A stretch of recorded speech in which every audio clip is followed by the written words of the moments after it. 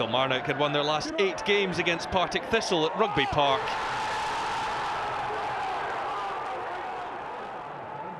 Higginbotham lining up the free kick. Plenty forward for this one. It's knocked down by Balatoni for Craigen, who rattles the crossbar. He met the volley so well. He's really unfortunate not to score his first goal of the season. Higginbotham with the corner. Balatoni! he shrugged off the attention of Manu Pascali, but couldn't direct the header downwards. It's tight down at the bottom of the table. Victory for Partick Thistle would move them level with Kilmarnock. This is Doolan, he's done well, strikes it, good stop by Samson to knock it over the top. Well, Doolan's on form, he's scored in each of his last two games.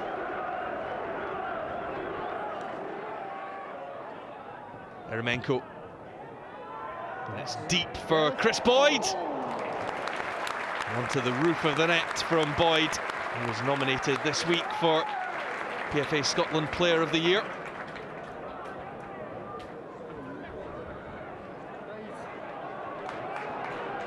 Irvine.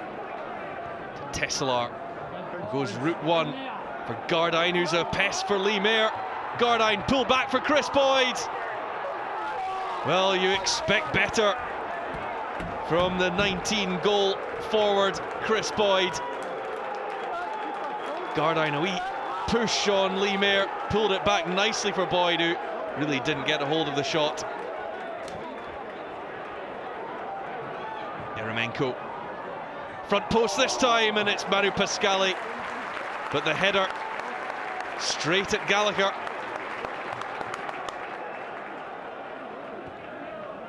McMillan on to Higginbotham.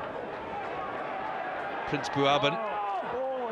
Nobody closing him down and goes for it alone. Decent effort from range. He's really skiting off the surface. And the former Dundee United player.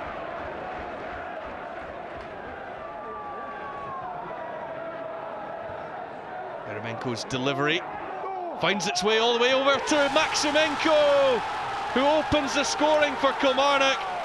Nine minutes into the second half, the Latvian has his first goal since joining on loan from Brighton and Hove Albion.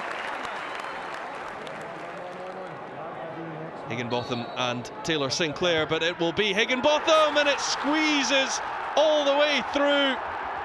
Just three minutes after they went behind, Partick Thistle are level, and it's Kallum Higginbotham. Bannigan. Higginbotham couldn't control it. Tesselaar. Now Gardyne. Nice turn. Goes for the curling effort.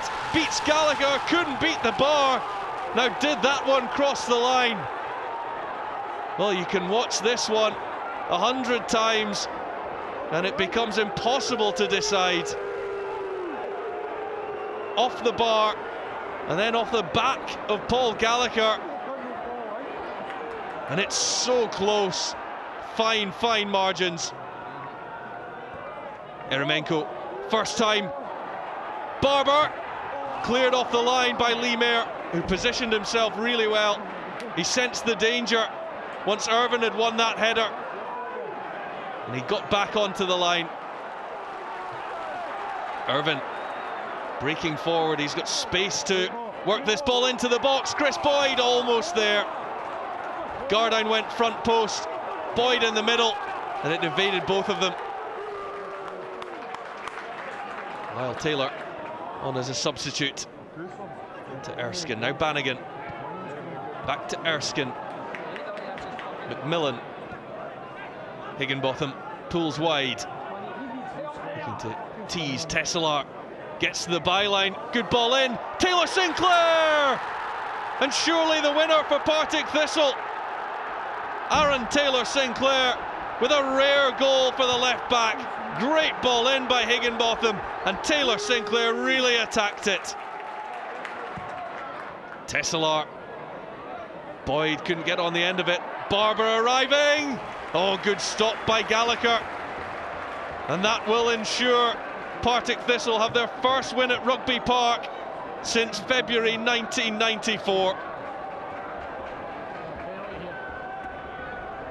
Subscribe now for free and catch all the action on SPFL YouTube.